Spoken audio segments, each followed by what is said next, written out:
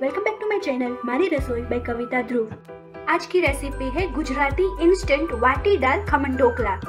खमन ढोकला दो प्रकार से बनते हैं। पहला, बेसन में से, यानी कि चने की दाल के आटे में से बनता है और दूसरा, डायरेक्ट चना दाल में से बनता है। वाटी दाल मतलब कि दाल को दरदरा पीसना। इसको एक्चुअल में फर्मेंट करके बनाना होता है। वाटी दाल खमन ढोकला आज हम इंस्टेंट बनाएँगे फर्मेंटेशन की ज़रूरत नहीं है। बाज़ार के जैसा स्वाद लाने के लिए इसको हम अलग प्रकार से तड़का लगाएँगे। तो चलिए जल्दी से रेसिपी देख लेते हैं। इंग्रेडिएंट्स में हम लेंगे एक टेबल स्पून साबुत धनिया और दो टेबल स्पून काली मिर्च, एक टीस्पून हल्दी पाउडर, एक टीस्पून हींग, दो टीस्पून सफ़ेद तिल, स्वाद अनुसार नमक, आठ से दस काजू छोटे टुकड़े में काटे हुए, दस से पंद्रह किशमिश, दो टेबल स्पून राई दो tablespoon dry coconut powder ये मार्केट में इजीली अवेलेबल होता है।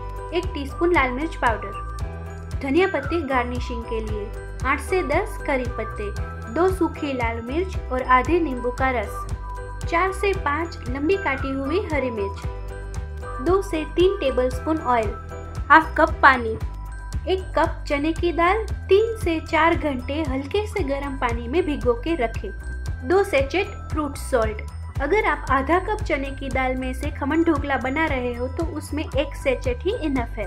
इसका रेशियो होगा एक कप चने की दाल में दो sachet fruit salt regular fruit salt का ही इस्तेमाल करें फ्लेवर्ड ना यूज़ करें।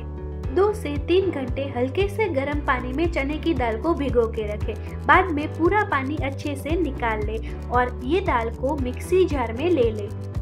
ट्राई करें कि बगैर पानी के ही पीसे। ज़रूरत लगे तो थोड़ा सा पानी ऐड कीजिए। दरदरा पीसना है। एक हरी मिर्च ऐड कीजिए।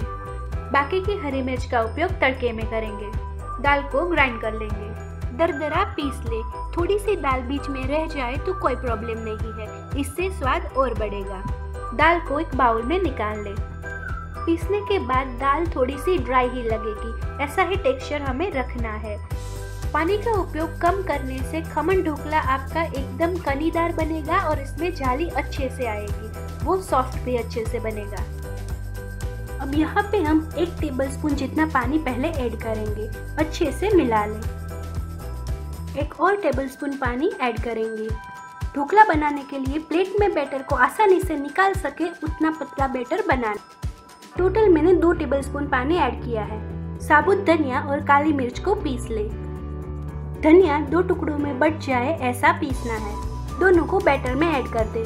नमक डाल के अच्छे से मिला ले। याद रखेंगे फ्रूट सोल्ट में भी नमक होता है। इस हिसाब से ही नमक ऐड कीजिए। पैन को अच्छे से ऑयल से ग्रीस कर लेना है। पैन का तला और उसकी साइड्स को अच्छे से ग्रीस कर ले। स्टीमर में एक से डेढ़ ग्लास पानी ले। स्टीमर की छेद वाली प्लेट रख के स्टीम होने रख दे। स्टीम निकलना शुरू होते ही पैन को इसके ऊपर रख दे खाली पैन ही रखना है। पैन को स्टीम की मदद से गर्म करें। अब बैटर में दो सेचेट फ्रूट सॉल्ट ऐड करेंगे। इसे मिला लेंगे। जल्दी से एक ही साइड में हमें मिलाना है। क्लॉकवाइज या एंटी क्लॉकवाइज कोई भी एक ही साइड पे मिलाइए। बैटर फूल के ऊपर आएगा, कोई बड़ा बर्तन का ही इस्तेमाल कीजिए। ज़रूरत लगे तो हाथों की मदद से भी अच्छे से मिला लें। स्टीम की मदद से पैन गरम हो चुका है बैटर को इसमें ऐड कर देंगे। हाथों की मदद से या स्पैचुला से थोड़ा सा फैला के इवन कर दे। ऊपर से थोड़ा सा साबुत धनिया ऐड करेंगे। ढक्कन लगा दे और 10 से 15 मिनट हाई फ्लेम पे पकने दे। 10 से 15 मिनट के बाद खोल के चेक कर ले। चप्पू डाल के चेक कर ले।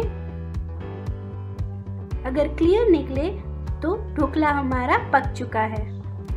पैन को स्टीमर से बाहर निकाल लेंगे, थोड़ी देर ठंडा होने देंगे। थोड़ा सा ठंडा होने पे ढोकला पैन की साइड को छोड़ देगा। इसके ऊपर दूसरी प्लेट रखे और पलट ले।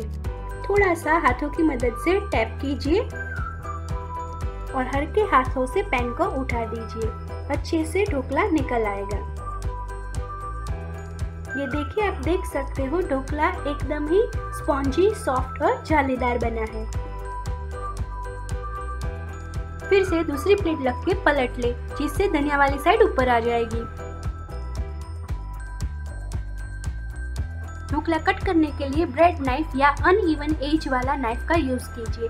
इससे ढोकला अच्छे से कट के निकलेगा।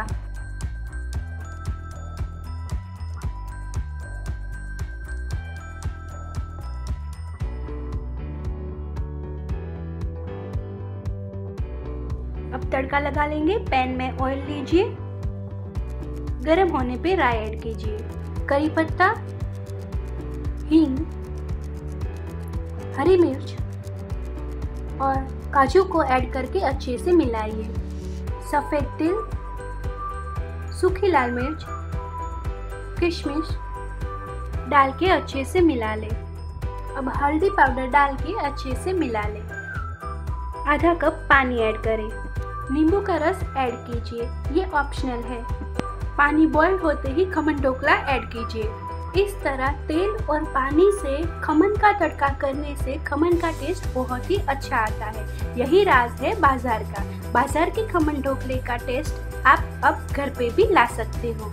फ्लेम को लो ही रखें और अच्छे से घुमाते हुए मिलाइए। बाउल में निकाल ले। कोकोनट पाउडर ऐड कीजिए। ऊपर से थोड़ा लाल मिर्च पाउडर स्प्रिंकल कीजिए। और हाँ तली हुई हरी मिर्च सर्व करना नहीं भूलिएगा। गुजराती खमन इसके बिना अधूरा है। और धनिया पत्ती डाल के गार्निश करें गर्मा गर्म सर्व करें। ये रेसिपी आपको कैसी लगी है, मुझे कमेंट करके बताना नहीं भूलिएगा। पसंद आई है तो लाइक कीजिए फ्रेंड्स और फैमिली में ज़रूर से शेयर कीजिए। अगर आप नए व्यूवर्स हैं तो मेरे चैनल को सब्सक्राइब करना नहीं भूलिएगा। ऑलरेडी सब्सक्राइब कर चुके हो तो बाजू में दिए गए बेल आइकन बटन को प्रेस कीजिए, जिससे कि आपको मेरी हर नई रेसिपी की नोटिफिकेशन सबसे पहले मिलेंगी।